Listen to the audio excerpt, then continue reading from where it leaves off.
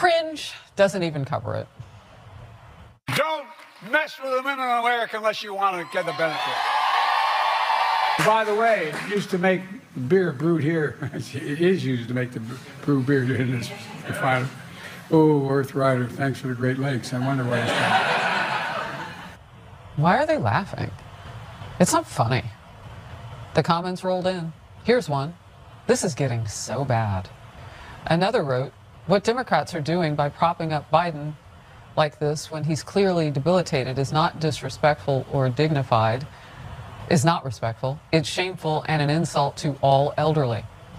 And this post calling it Biden's best gibberish yet, a former Obama advisor admitting it's not helping. This is a uh, performance game.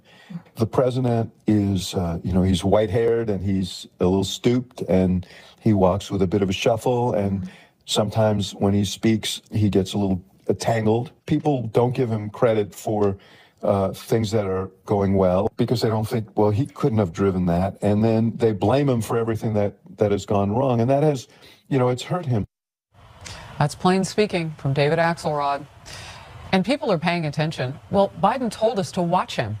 We do. Fox News voter analysis found nearly half of New Hampshire Democrats said Biden is too old for another term.